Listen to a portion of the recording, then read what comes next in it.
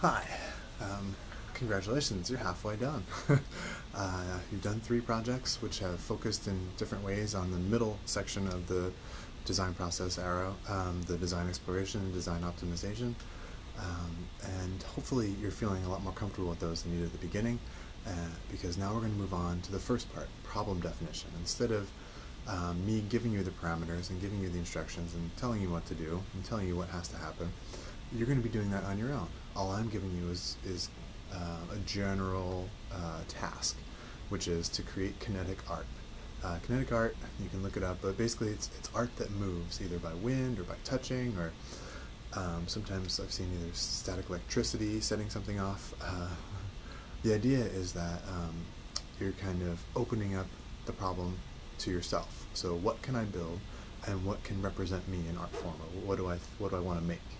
And um, that's why we're focusing on problem definition this time. And um, the other thing I thought would be nice introducing it this way is uh, you know yourself very well, and so introducing a problem that you have to solve for yourself uh, is a great way to get started. We'll get on to kind of thinking about problem definition for other people in the other in the in the remaining tasks. um, so, like I said, this is more open and um, have fun with it. And uh, just think about what have you learned so far and what do you look forward to learning in the second half of the course. Thank you.